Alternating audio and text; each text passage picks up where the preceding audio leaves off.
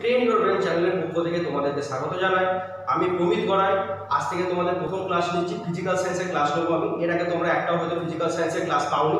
আজ থেকে তোমাদের ফিজিক্যাল সায়েন্সের ক্লাস রেগুলার বেসিসে চলতে থাকে। আজ তোমাদের ক্লাস নাইনের প্রথম চ্যাপ্টার পরিমাপ করা। যা বেশি কথা না বলে শুরু করছি চ্যাপ্টারটা পরিমাপ করতে গেলে আমাদের প্রথম যেটা দরকার, সেটা হচ্ছে রাশি। রাশি যে সমস্ত হচ্ছে প্রাকৃতিক বিষয়সমূহকে মাপা যায়, তাদেরকে বলা হচ্ছে রাশি অ্যাকচুয়ালি এই রাশি আবার দু প্রকার হয়। একটা হচ্ছে কি, স্কেলার রাশি আর একটা হচ্ছে ভেক্টর রাশি। দেখো, বলে দেখো স্কেলার রাশি আর ভেক্টর রাশি। স্কেলার রাশি মানে যেসব রাশিগুলোর কোনো দিক নেই। মানে তুমি রাশিটাকে, যেসব রাশিগুলোকে তুমি যেভাবেই মাপো ভ্যালু একই পাবে। যেমন দৈর্ঘ্যকে তুমি এরকমভাবে যদি লেন মাপো বা এরকমভাবে আড়াআড়ি লেন মাপো একই বস্তু। তুমি লম্বা লম্বিভাবে মাপলে আর আড়াআড়িভাবে মাপলে মানটা একই পাবো। তাহলে এর কোনো ডাইরেকশনের উপর, এর মানের কোনো চেঞ্জ হচ্ছে না। সেই কারণে দৈর্ঘ্য তা ভর উষ্ণতা সেই একই কারণে এগুলো হচ্ছে স্কেলার রাশির মধ্যে পড়ছে। আর যেসব রাশিগুলো কোনো একটা নির্দিষ্ট দিক আছে মানে দিক চেঞ্জের সঙ্গে সঙ্গে যার মান চেঞ্জ হয়, তাদের হচ্ছে ভেক্টর রাশি। যেমন সরল, বেগ ত্বরণ ভেক্টর রাশিকে সাধারণভাবে এইভাবে বোঝানো হয়, তীর চিহ্ন দিয়ে বোঝানো হয় এবং ভেক্টর রাশির মাথায় তীর চিহ্ন লিখে দেওয়া হয়। বোঝানোর জন্য যেটা, সেটা ভেক্টর রাশি। এবার দেখো, আমি একটা উদাহরণ বুঝিয়ে দিই, বেগ। বেগ মানে কি? তুমি একটা কোনো ডাইরেকশনে যাচ্ছ, তাই তো? ডাইরেকশনে যেতে যেতে তোমার যে হারে তুমি যে হারে স্পিডটা পরিবর্তন করছ, সেটাকে তোমরা বেগ করো বেগ সম্পর্কে সবাই বোঝো। তাহলে কোনো একটা ডাইরেকশানে যে বেগ হচ্ছে, সেই বেগটা যদি উল্টো ডাইরেকশানে মাপা হয়, তাহলে তার ভ্যালুটা সবসময় নেগেটিভ হয়ে যায়, ঋণাত্মক হয়ে যায়। সেই কারণে বেগের একটা নির্দিষ্ট ডাইরেকশান আছে। তাহলে বেগের ডাইরেকশন থাকার জন্য বেগ হচ্ছে অ্যাকচুয়ালি একটা হচ্ছে ভেক্টর রাশি। বুঝলে একটুখানি বুঝলে এবার এই যে রাশিগুলোকে আছে, এই রাশিগুলোকে মাপার জন্য, এই যে আমাদের দৈর্ঘ্য, দৈর্ঘ্যটাকে মাপার জন্য একটা নির্দিষ্ট ইউনিট দরকার। মানে কোনো কী দিয়ে মাপবো দৈর্ঘ্যটা? এতটা দৈর্ঘ্য তোমাকে হাতে করে এতটা দৈর্ঘ্য দেখালাম, সেই দৈর্ঘ্যটাকে মাপবো কী দিয়ে? তাহলে আমাকে কী করতে হবে? সেটাকে মাপার জন্য একটা নির্দিষ্ট পরিমাণকে আমাকে প্রমাণ ধরে নিতে হবে। সেই প্রমাণটা সাপেক্ষে তার লেনটাকে মাপবো। মাপতে পারি? সেই প্রমাণ, যে জিনিসগুলোকে প্রমাণ ধরা হয়, সেটাকেই প্রমাণ করে কোনো রাশি মাপার পদ্ধতিটাকেই হচ্ছে অ্যাকচুয়ালি তার একক ঠিক আছে? এটাকে এবার বলা হচ্ছে একক আবার যেমন স্কেলার রাশি, ভেক্টর রাশির মতো একক আবার দু রকম হয়। একটা হচ্ছে মৌলিক একক, একটা লব্ধ একক। মৌলিক একক মানে যে এককগুলোকে আমাদের কোনো একা একা নিজেরাই একা একা এদেরকে প্রতিস্থাপন করতে পারে, নিজেদের উপস্থাপন করতে পারে। যাদের জন্য অন্য কোনো সাহায্য লাগে না, তারা হচ্ছে মৌলিক একক, ঠিক আছে? তারা হচ্ছে মৌলিক একক। এবার আমরা এই যে এককের আবার বিভিন্ন রকম মাপার পদ্ধতি আছে। কী কী মাপার পদ্ধতি আছে? একটা হচ্ছে সেন্টিমিটার গ্রাম সেকেন্ড এটা একটা পদ্ধতি। একটা হচ্ছে স্ট্যান্ডার্ড পদ্ধতি, এসআই পদ্ধতি। এসআই পদ্ধতিটাকে আগে বলা হতো এমকেএস মিটার, কিলোগ্রাম, সেকেন্ড, ঠিক আছে? আর একটা প্রসেস আছে ফুট পাউন্ড সেকেন্ড এটা সাধারণত ব্রিটিশ প্রসেস ব্রিটিশরা এই প্রসেসে মাপে। তার মধ্যে স্ট্যান্ডার্ড ইউজ স্ট্যান্ডার্ড প্রসেসটা কি? সারা বিশ্ব এই প্রসেসটা মেনে চলে। এবার এই যে মৌলিক এবং লব্ধ একক বললাম, মৌলিক এবং বিভিন্ন পদ্ধতিতে বিভিন্ন মৌলিক এককের সংখ্যাও বিভিন্ন। যেমন সিজিএস পদ্ধতিতে মৌলিক এককের সংখ্যা মাত্র তিনটি। কোনগুলো? সেন্টিমিটার গ্রাম সেকেন্ড সেন্টিমিটারটা কি? দৈর্ঘ্যের একক। ভরের একক কি? গ্রাম উষ্ণতার একক? উষ্ণতার একক হচ্ছে টেম্পারেচার সেকেন্ড হচ্ছে সময়ের একক। ঠিক আছে? তাহলে মৌলিক একক তিনটে। সেন্টিমিটার গ্রাম সেকেন্ড মানে দৈর্ঘ্য, ভর আর সময়ের এককে সাধারণভাবে সিজিএসে মৌলিক একক ধরা হয়েছে। বাকি এককগুলো সব লব্ধ একক। মৌলিক বাদে বাকি সমস্ত একক হচ্ছে লব্ধ একক সিজিএস পদ্ধতিতে। এসআই পদ্ধতিতে কিন্তু সেই প্রবলেমটা অ্যারাইজ করার জন্য এসআই পদ্ধতিতে মৌলিক এককের সংখ্যা সাতটা নেওয়া হয়েছে। সাতখানা মৌলিক এককের সংখ্যা নেওয়া হয়েছে এসআই পদ্ধতিতে। একটু পরে আমি ডিটেলসে আসছি। আর এপিএস পদ্ধতিতে তোমাদের লাগবে না এপিএস পদ্ধতি শুধু মনে রাখবেন এটা ব্রিটিশ পদ্ধতি। ক্লিয়ার এবার এখানে দেখো কতগুলো জিনিসকে আমি দেখিয়ে দিচ্ছি কীভাবে আমার লব্ধ এককগুলো বার করে নেওয়া যায়। লব্ধ এককগুলো মৌলিক এককের সাহায্যে লব্ধ একক বার করে নেওয়া যায়। অন্তত পক্ষে তিনটে অন্তত মনে রেখো, তাছাড়াও এক্সট্রা অনেকগুলো করতে হবে। যেমন ঘনত্ব ঘনত্ব সংখ্যা থেকে আমরা কি জানি ঘনত্ব মানে হচ্ছে ভর বাই আয়তন মানে একক আয়তনের ভরকে বলা হয় হচ্ছে ঘনত্ব। তাহলে ভরের ভরের একক কি গ্রাম? একটু আগে বললাম, এগুলো সব আমি করছি সিজিএসে ঠিক আছে? এগুলো সবগুলো আমি করছি সিজিএসে যেমন ভরের একক গ্রাম, আয়তনের একক হচ্ছে সেন্টিমিটার তাহলে ঘনত্বের একক কী হবে? গ্রাম পার সেন্টিমিটার কিউব ঠিক আছে? কারণ আয়তনের একক সেন্টিমিটার কিউব তারপর হচ্ছে বেগ। বেগ মানে কি? তুমি সময়ের সাপেক্ষে কতটা দূরত্ব যাচ্ছ সেটাই বেগ। তার মানে বেগ মানে কি? সময়ের সাপেক্ষে কতটা দূরত্ব যাচ্ছ। তাহলে দূরত্বকে সময় দিয়ে লাভ করলে সেই ইউনিট সেইটা আমরা বার করতে পারব সেটাকে বলছি বেগ। তাহলে এটার একক কী হবে? দূরত্বের একক কী জানি? সেমি সিজিএস পদ্ধতিতে। আর সময় হচ্ছে সেকেন্ড যদি এটাকে আমরা এসআইতে বার করতাম, বেগটাকে যদি আমরা এসআইতে বার করতাম, তাহলে কী হতো বলতো? দূরত্বের একক তখন কী হতো? এসআইতে দূরত্বকে মাপা হচ্ছে মিটার দিয়ে একটু পরে আমরা ডিটেলসে আসছি। আর সময়কে মাপা হয় সেকেন্ড দিয়ে তাহলে কী হতো এর ক্ষেত্রে তখন বেগের একক হতো মিটার পার সেকেন্ড ত্বরণ ত্বরণকে কী দিয়ে বোঝানো হয়? বেগের পরিবর্তনের হারকে বলে ত্বরণ যেমন তুমি গাড়ি করে যাচ্ছ, গাড়ি আস্তে আস্তে স্পিড বাড়ছে, সেটাকে বলছি ত্বরণ বা গাড়িতে আস্তে আস্তে তুমি ব্রেক ধরছো, গাড়ি আস্তে আস্তে স্পিড কমছে, সেটাকে বলা হচ্ছে নেগেটিভ ত্বরণ যে বললাম ত্বরণ একটু কি বললাম? ত্বরণ এই কারণে হচ্ছে ভেক্টর রাশি। বেগ বাড়ার হারকে বলছি ত্বরণ বেগ কমার হারকে বলছি নেগেটিভ ত্বরণ বা ঋণাত্মক ত্বরণ সেটাকে বলা হয় মন্দ যা তাহলে ত্বরণ মানে কি? বেগের পরিবর্তন বাই সময় এটা বেগ নয়, এটা বেগের পরিবর্তন হবে, ঠিক আছে? বেগের পরিবর্তন বাই সময় তাহলে বেগের পরিবর্তনের যা ইউনিট হবে, আর বেগের ইউনিট একই হবে, তাহলে কি হবে? Centimetre per second by second তাহলে কি পাচ্ছি actually centimetre per second square এটা কোনে করতে পারছি? সিজিএস মধ্যে আর এই সাইডে করলে কি হবে এই সাইডে করলে পাবো হচ্ছে metre per second square actually মনে রাখবে যে সেকেন্ড এটা সিজিএস পদ্ধতিতে এসআই পদ্ধতিতে এফপিএস পদ্ধতিতে, তিনটেতেই সময় রেখকে সেকেন্ডে ধরা হয়েছে। বাকিগুলোকে মাপার পদ্ধতি আলাদা। ঠিক আছে, বাকি তিনটে পদ্ধতিতে আলাদা ধরে নেওয়া হয়েছে যেটা বলব সেটা হচ্ছে খুব খুব খুব একটা ইম্পর্টেন্ট টপিক আমরা বলব, ঠিক আছে? ইম্পর্টেন্ট টপিকটা কি? একটু আগেই বললাম এসআই পদ্ধতিতে আমাদের সাতখানা রাশিকে মৌলিক রাশির মর্যাদা দেওয়া হয়েছিল ঠিক আছে? সেই সাতখানা রাশি কী কী? এবং তাদের মাপার একক কী কী? সেগুলো আমাদের জানতে হবে। সাতখানা রাশি কী কী ছিল? দৈর্ঘ্য, ভর, সময়, তাপমাত্রা, তড়িৎ প্রবাহ দীপন প্রাবল্য পদার্থের পরিমাপ। ক্লিয়ার এবার এদের একক কি মাপার জন্য? দৈর্ঘ্যের একক হচ্ছে মিটার। ভরের একক হচ্ছে কিলোগ্রাম সময়ের একক হচ্ছে সেকেন্ড তাপমাত্রার একক হচ্ছে কেলভিন তড়িৎ প্রবাহমাত্রার একক হচ্ছে অ্যাম্পিয়ার দীপন পাবনের একক হচ্ছে ক্যান্ডেলা আর পদার্থের পরিমাপের একক হচ্ছে মোল। এই পাঁচটাই খুব ইম্পর্টেন্ট এর আগে কি পদ্ধতি ছিল? সিজিএস পদ্ধতি। সিজিএস পদ্ধতিতে এই মাত্র তিনটেই ছিল মৌলিক একক। এই তিনটে। সেখানে দৈর্ঘ্যকে মাপার জন্য কোন ব্যবহার করা সেখানে ব্যবহার হতো দৈর্ঘ্যকে মাপার জন্য সিজিএস এ। সি সিজিএস এ কোন কোন মাপা হতো দৈর্ঘ্যকে মাপার জন্য ইউজ করা হতো সেন্টিমিটার ঠিক আছে?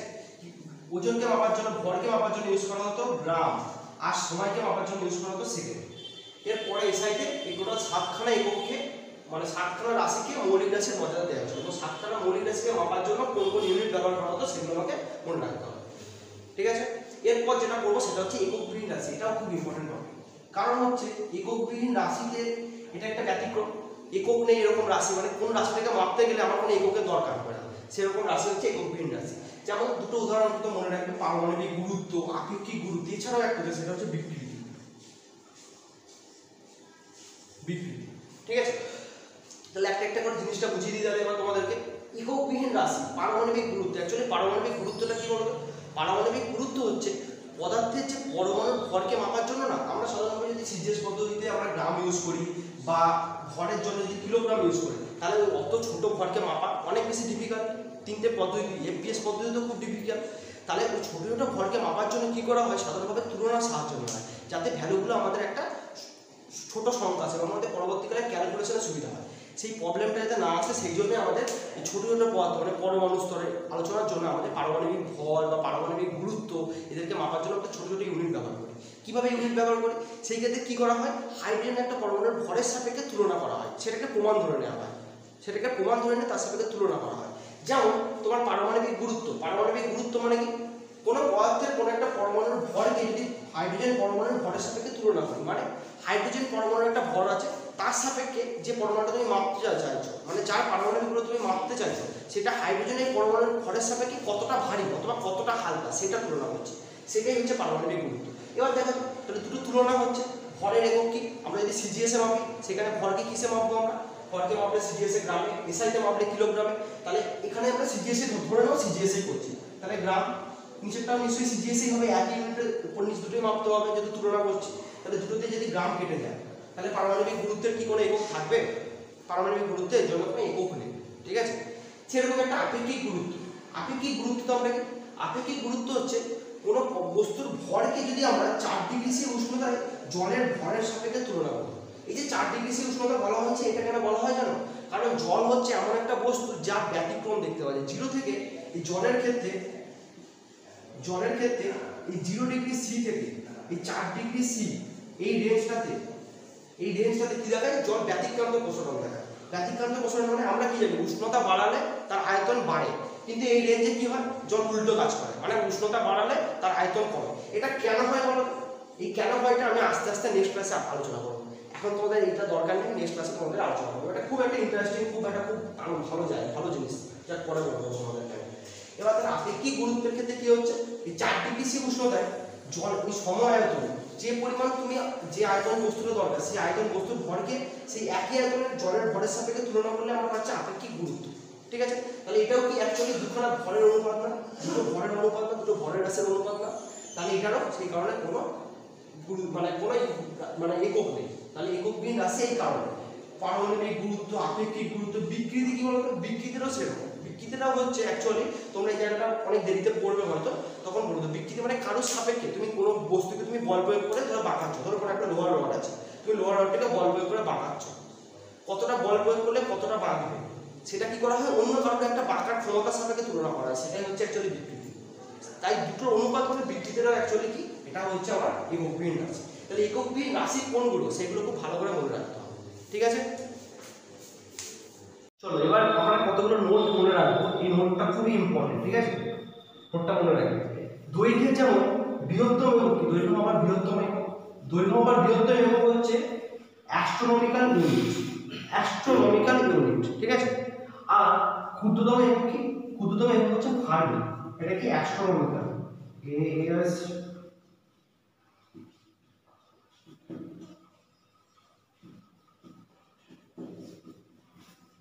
ঠিক আছে? অ্যাস্ট্রোনমিক্যাল ইউনিট আর একক হচ্ছে ফার্মি আর অ্যাস্ট্রোনমিক্যাল ইউনিটটা কোথায় ব্যবহার করা হয়? এত বৃহত্তম।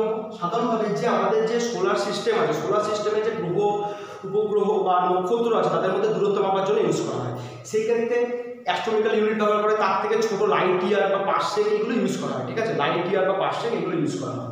আর ক্ষুদ্রতম একক হচ্ছে ফার্মি ফার্মিটা কোথায় ইউজ করা হয় জানো? ফার্মিটা ইউজ করা হয় হচ্ছে সাধারণভাবে পরমাণুর মধ্যে। নিউক্লিয়াস থেকে দূরত্বটা কত? ইলেকট্রনের বা পরমাণুর মধ্যে দূরত্ব কত? সেই সব জায়গায় ইউজ করা হয় সাধারণভাবে ফার্মি আর ভরের ক্ষেত্রে কি বৃহত্তম একক হচ্ছে সোলার মাস মানে গ্রহ নক্ষত্র এদের ভর মাপার জন্য ইউজ করা হয় সোলার মাস আর ক্ষুদ্রতম একক কি? ক্ষুদ্রতম একক হচ্ছে এএম ঠিক আছে? এএম এর ফুল ফর্ম কি? এএম এর ফুল ফর্ম হচ্ছে atomic mass unit atomic mass unit AM এর কোথায় ইউজ করা হয় বলতো? পারমাণবিক ভর মাপার জন্য ইউজ করা হয়। মানে পরমাণুর ভর মাপার জন্য ইউজ করা হয়। অ্যানিউমিক কিসের একক? পারমাণবিক ভর।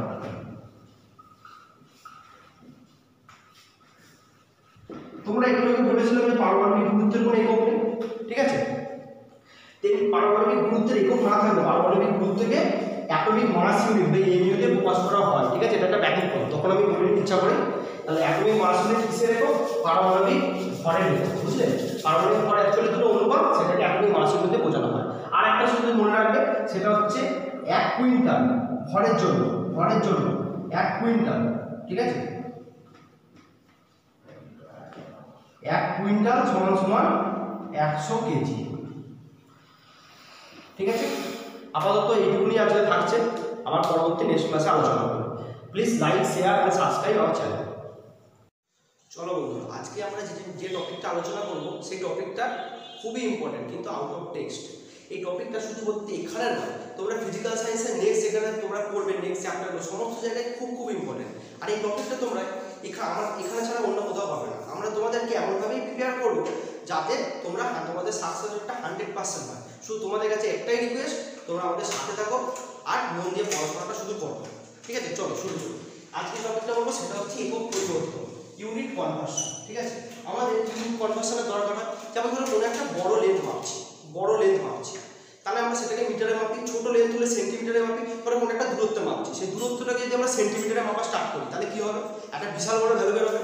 তাহলে সেইটার সেখানে কোনো মানে যথাযথ হয়, সেই জিনিসটা সেখানে সেইভাবে মানে কি বলব, সেই জিনিসটা সেইভাবে যথাযথ না। তাহলে সেই সব জায়গায় আমাকে অন্য ইউনিট বড় বড় ইউনিট ইউজ করতে হবে বা বড় একক ইউজ করতে হবে। আর ছোটোখাটো মাপার জন্য আমাদের ছোটোখাটো ইউনিট ইউজ করতে হবে। তাই একক পরিবর্তনটা আমাদের সমস্ত জায়গায় খুব খুব খুব ইম্পর্টেন্ট ঠিক আছে? এবার দেখো আমরা যে কোনো এককে প্রথমে যেটা বুঝতে হবে সেটা অর্থ বুঝতে হবে। আমরা এককের আগে, যে কোনো এককের আগে যে টার্মগুলো ইউজ করে, তাকে অন্য এককে ট্রান্সফার করি, সেই অর্থগুলোকে তোমাদেরকে বলে দিই। যেমন ধরো কোনো একটা একক আছে তোমরা মনে করো লেন্থ মাপছো দৈর্ঘ্য মাপছো দৈর্ঘ্যের একক কি? তোমরা মনে করো মিটার ঠিক আছে? দৈর্ঘ্যের একক হচ্ছে মনে করো মিটার সাপোজ এটা কোন মিটারটা কোন ইউনিট বলো তো? কোন সরি কোন পদ্ধতি বলো তো? মিটারটা হচ্ছে এসআই পদ্ধতি। ক্লিয়ার তাহলে এসআই পদ্ধতিতে আমরা দৈর্ঘ্যের ইউনিট মেপেছি মিটার তাহলে আমাকে ধরো কোনো ক্ষেত্রে ছোট ইউনিট মাপতে হবে। তাহলে আমাকে কি করতে হবে? মিটারে প্রকাশ করলে অসুবিধা হবে। তাহলে আমাকে ছোট ইউনিটে প্রকাশ করতে হবে। তাহলে আমাকে কি করতে হবে? ডেসিমিটার ইউজ করতে পারি সেন্টিমিটার ইউজ করতে পারি মিলিমিটার ইউজ করতে পারি মাইক্রোমিটার ইউজ করতে পারি ন্যানোমিটার ইউজ করতে পারি অ্যাংস্ট্রম ইউজ করতে পারি পিকোমিটার ইউজ করতে পারি আবার যদি বড় ইউনিট দরকার হয় তাহলে কি করব মিটারের জায়গায় আমরা ডেকামিটার ইউজ করতে পারি হেক্টোমিটার ইউজ করতে পারি কিলোমিটার ইউজ করতে পারি মেগামিটার ইউজ করতে পারি কিলোমিটার ইউজ করতে পারি টেরামিটার ইউজ করতে পারি বুঝতে পেরেছ কি বলতে চাইছি বা ধরো ওজন মাপছো গ্রাম তাহলে গ্রামকে ধরো ছোট গ্রামে ছোট ছোট ছোট কিছু ওজন মাপছো তখন তোমার ছোট ওজন গ্রামের দরকার মানে গ্রামের ইউনিটটাকে ছোট করে দরকার, তখন আমরা সেখানে হয়তো ইউজ করব মাইক্রোগ্রাম ইউজ করতেই পারি। বুঝতে পেরেছ? বা হয়তো মিলিগ্রাম ইউজ করব। আবার ধরো অনেক পরিমাণ, অনেক বেশি ওজন দরকার। তখন আমরা সেখানে মেগাগ্রাম বা কিলোগ্রাম ইউজ করতে পারি। ঠিক আছে? ক্লিয়ার মোটামুটি এখানে যে ছকটা দেওয়া আছে ছকটার মধ্যে ম্যাক্সিমাম কোশ্চেনটা ইউনিট কনভার্সনে কভার করা আছে আগে অর্থগুলো বুঝতে হবে। যেমন আমরা এককে ধরে নেওয়া হচ্ছে ইউনিট মানে ওয়ান ধরে নেওয়া এবার সেখান থেকে এক গুণ ছোট করব। এক গুণ ছোট করা মানে সেটাকে বলা হচ্ছে ডেসি দু গুণ ছোট করা মানে সেটা হচ্ছে সেন্টিমিটার তারপর তিন গুণ ছোট করা মানে সেটা হচ্ছে মিলিমিটার তারপর চার গুণ ছোট করা মানে সেটা মাইক্রোমিটার ঠিক আছে? তারপর ন্যানোমিটার তারপর অ্যামস্ট্রং তারপর পিকোমিটার ক্লিয়ার এবার দেখো, ছোট করছি, প্রথমে ডেসি সেন্টি মিলি এগুলো তোমরা আগেও হয়তো পড়েছো ডেসি সেন্টি মিলি তাকে এক ঘর করে মাত্র ছোট হচ্ছে এক ঘর এক ঘর এক ঘর। এবার মিলিমিটার থেকে মাইক্রোমিটার যেতে গেলে দেখো, তিন ঘর।